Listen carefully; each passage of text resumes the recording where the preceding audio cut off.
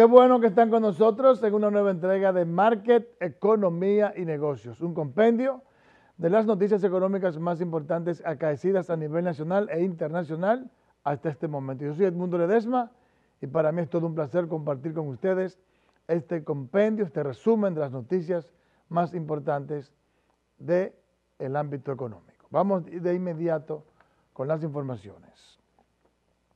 Las recaudaciones en el mes de marzo aumentaron 26.6% con relación al igual mes del 2020, para un total de 41.040.24 millones, es decir, 8.628.46 millones por encima de los 32.411.78 millones que fueron tributados el año pasado, según informó la Dirección General de Impuestos Internos.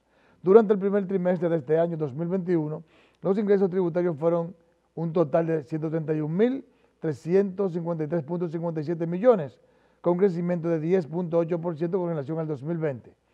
Este aumento fue de 12.833.33 millones, ya que para entonces, en el 2020, ingresaron 118.520.4 millones.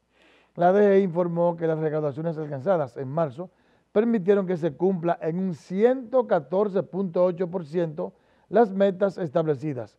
Para este periodo las recaudaciones sobrepasaron en 5.291.56 millones el estimado inicial de 35.748.68 millones, mientras las recaudaciones del primer trimestre fueron alcanzadas en 112.3%, con 14.375.70 millones más de lo previsto. Eso fue lo que pasó en impuestos internos. Ahora veamos lo que pasó en aduana en el mismo periodo. La Dirección General de Aduanas recaudó en los primeros tres meses de este año 39.876.3 millones de pesos, lo que representa un aumento de un 23.5% en comparación con el mismo periodo del 2020, equivalentes a 7.588.25 millones adicionales. El director de la DGA, Eduardo Yayo San Lobatón, precisó que este monto constituye la mayor recaudación histórica registrada en el periodo referido, representa un 133.2% en el cumplimiento de la meta asignada en el presupuesto del Estado, superándola con 9.000 939.4 millones. El funcionario explicó que desde el 17 de agosto al 31 de diciembre del 2020, la Dirección de Aduanas recaudó 58.344.92 millones, es decir, 46% de los ingresos del año en 137 días, 4.5 meses, logrando cifras récord en los meses de noviembre y diciembre, alcanzando en el último mes del año pasado la más alta recaudación de todos los tiempos, a pesar de la pandemia generada por el COVID. Como vemos, tanto impuestos internos como aduanas han tenido cifras récord en lo que tiene que ver con las recaudaciones. Eso implica una mejoría importantísima del sistema tributario y una recuperación de la economía. No obstante, más que destacar la recuperación económica que ciertamente existe como eh, informó el Banco Central la semana pasada, pero si tomamos en consideración el desempeño que había estado teniendo la economía del 19 hacia atrás y vemos que en un periodo de recesión económica se incrementan los ingresos, eso quiere decir definitivamente que ha habido una mejoría sustancial en la administración tributaria de parte del incumbente de la DGA y de parte del incumbente de la DGI. Y eso es sumamente importante que esas dos agencias recaudadoras aumenten la eficiencia, porque eso es precisamente lo que necesita el Estado Dominicano, que le ingresen recursos adecuados para hacer las inversiones del lugar. Pero aparte de eso, uno tiene que pensar que esa mejoría sustancial de las recaudaciones es consecuencia de que se ha estado disminuyendo la evasión, de parte de los agentes económicos y eso es sumamente importante. En otra información, debido a la importancia que reviste para la economía del país la diversidad genética del ganado, el gobierno a través del Ministerio de Agricultura creó el Centro de Biotecnología y Reproducción Animal. Su objetivo es aumentar el rendimiento a través de la producción de embriones y inseminaciones de alta calidad. Y yo en todas mis reuniones de los lunes que hago con el gabinete del Ministerio de Agricultura, siempre ponía la palabra Vitrogan, porque yo entendía que nosotros teníamos que hacer verdaderamente una transformación en ese laboratorio y por vía de consecuencia en la genética de la República Dominicana. Cuando escuché los nombres de la persona que hoy vamos a juramentar, yo puedo decirle a ustedes que tenemos un trintín en ese departamento de agricultura. Con esa gente que hay ahí, con esos técnicos que hay ahí, con esos hombres probados que hay ahí, podemos hacer muchas cosas. La tarea que nosotros tenemos por delante, ese es el legado que nosotros quisiéramos hacer. Desde nuestra llegada a, asumir las responsabilidades, tanto en el Banco Agrícola, que hemos compartido mucho con el ministro de Agricultura, hemos visto una oportunidad para invertir y para trabajar en este sector, para mejorar. Y la mejor vía de hacerlo es haciendo, creando las capacidades en el país, creando las capacidades para mejorar genéticamente la, ganadería del país. El titular de la cartera agropecuaria juramentó a los tres integrantes del Consejo Directivo que tendrá a su cargo la dirección del nuevo Centro de Reproducción Animal. Cambiando de tema, el ministro de Turismo firmó este jueves un acuerdo con la Dirección General de Alianza Público-Privada y la Alcaldía de Pedernales para el desarrollo de un plan con la finalidad de impulsar el turismo en la zona. Detallaron que el proyecto consiste en la capacitación de los ciudadanos a través de la Institución Nacional de Formación Técnico Profesional Infotet, así como el ordenamiento territorial y la construcción de un aeropuerto internacional y un nuevo hotel de 5.000 habitaciones. Es bueno destacar que Pedernales forma parte de un fideicomiso, de una alianza público-privada, donde se encuentra aquí Simon Frost, que es el coordinador de la Dirección de Alianza Público-Privada. ¿Qué estamos haciendo en la mañana de hoy? Antes de que inicien esas inversiones, antes de que se inicie el desarrollo en Pedernales, planificarlo, organizarlo. Porque donde se construye un hotel en todos los entornos se empiezan a improvisar con construcciones y nadie sabe qué se puede y qué no se puede. Y se puede improvisar como sucedió en el este, que el desarrollo fue muy rápido pero no se planificó. Esto incluye también la construcción de un aeropuerto internacional y lo que son las obras de infraestructura que se requieren para el desarrollo turístico, agua, electricidad, viviendas para los empleados. Eh, por lo cual, como el ministro reitera, el hecho de que podamos trabajar conjuntamente con el pueblo, con la, con la dirección de municipal, nos va a nosotros permitir que ese desarrollo se pueda realizar de manera ordenada y unificada. La construcción iniciará a mediados de este año y pretende impactar al menos 50 mil personas con empleos directos e indirectos. El Ministerio de Agricultura Pro Dominicana, el Parque Cibernético de Santo Domingo, Mercados Dominicanos de Abasto Agropecuario el Instituto Postal Dominicano crearon la plataforma tecnológica para exportación de productos agrícolas a través de la firma de un acuerdo con miras a potenciar el mercado de las exportaciones. Nuestra compañera Rosalba Escalante tiene los detalles. El acuerdo firmado este jueves contribuirá a expandir la oferta exportable de los productos agrícolas de República Dominicana. La exportación de rublos, especialmente lo que tienen que ver con el transporte aéreo, y nosotros que estamos ligados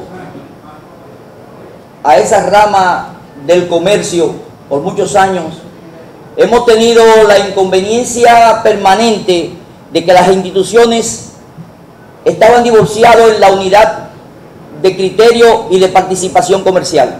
A través del acuerdo se capacitará a los involucrados para el registro de productores y exportadores, a fin de conectar al que tiene una producción con el que necesita del producto. El parque cibernético creará una plataforma y capacitará a todos los que vamos a estar involucrados en este proceso para que haya un registro de productores y exportadores y que se sepa quién tiene qué.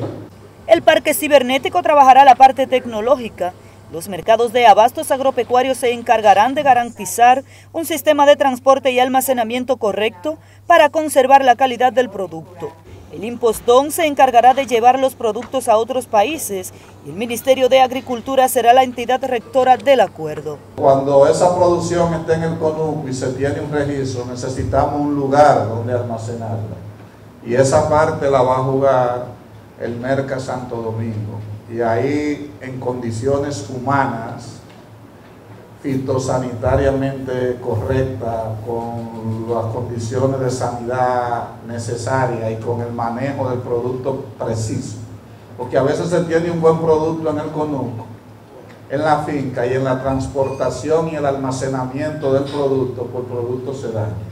Con la firma de este acuerdo quedó formado el comité de gestión integrado por las partes firmantes. Gracias, Rosario. A propósito de agricultura, productores de cebolla de Vallejuelo, de la provincia de San Juan, lanzaron gran cantidad de productos a las calles en protesta por el incumplimiento del gobierno en ayudarlos con la comercialización del bulbo. Más datos en esta información con Víctor Erasme. Los cebolleros de Vallejuelo regaron parte de su producción alegando que ya el producto se ha dañado y piden la intervención del presidente Luis Abinader para que vea cómo los más pobres han sido ignorados.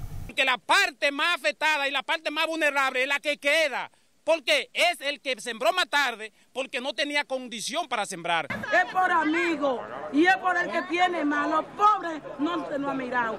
La cebolla ya se perdió. ¿Con qué pagamos? ¿Con qué pagamos? No tenemos nada. Al gobierno dominicano a través del Ministerio de Agricultura y su ministro Limbel Cruz que vengan a terminar de pesar más de 50 mil quintal de cebolla que han quedado en la casa y en la vivienda de los productores. Los cebolleros de Vallejuelo dijeron que lograron una gran cosecha, pero que seguirán en la quiebra por la falta de apoyo para vender. Advirtieron que tomarán otras medidas más drásticas si el gobierno no acude en su ayuda. Bueno, eh, ciertamente Primero, muchas gracias a Víctor. Ciertamente, eh, hay que hacer un trabajo integral, en el sentido de que hay que aumentar la producción, pero también hay que ayudar al sector agropecuario con la comercialización, para que la producción tenga una adecuada, una adecuada salida. Y así no pierdan. Eh, si lo estamos incentivando a que produzcan, para que los precios de la canasta familiar se abaraten, al mismo tiempo hay que, ayudarlos con el tema de la comercialización, de la colocación de esos productos en los mercados nacionales e internacionales de manera tal que ellos puedan ganar y valga la pena la inversión que están haciendo.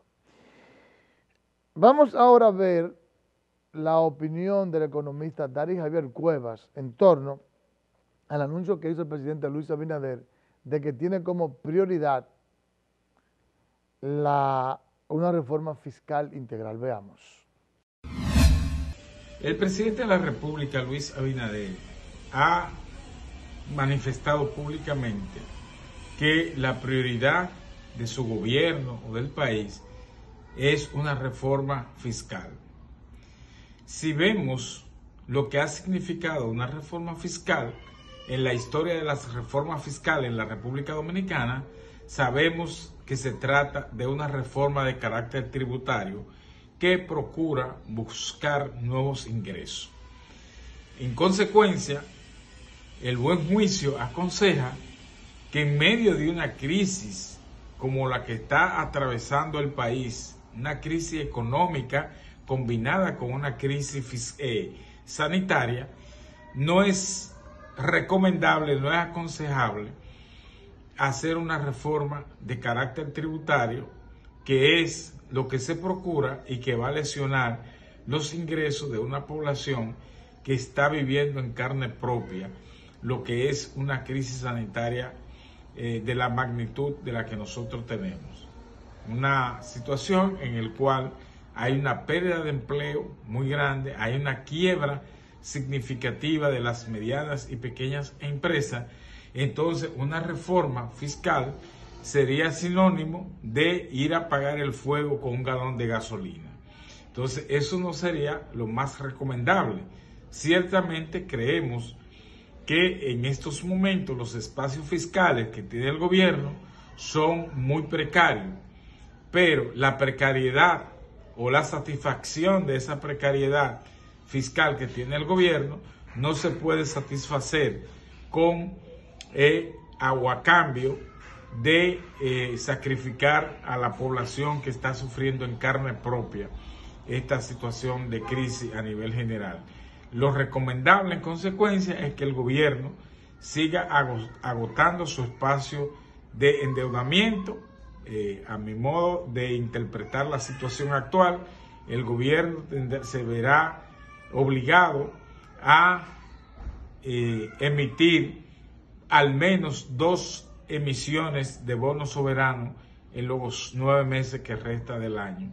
Y creo que por ahí es que va a estar el gobierno en una situación que sería menos perniciosa que aplicarle nuevas cargas impositivas a la población. Es cuanto. Gracias al economista Taris Javier Cueva por su opinión en torno a este importante tema de interés nacional que se está discutiendo y se está hablando con mucho interés sobre la necesidad de una reforma fiscal integral, que quizás no sea ahora que se pueda aplicar, pero sí es necesario que se empiece la discusión. Vamos ahora con el diccionario económico. ¿Qué es un superávit? Es un término económico de uso común y se utiliza para hacer referencia a las balanzas comerciales que dan un resultado positivo a partir de una mayor cantidad de ingresos que de egresos. En ese sentido, el superávit es la diferencia positiva que se registra entre lo que se tiene y lo que se debe. Para que los ingresos puedan ser considerados superávit, debe haber una ganancia que supere los gastos. De esta manera, el superávit en la economía se expresa como algo positivo y puede clasificarse en fiscal, externo y privado.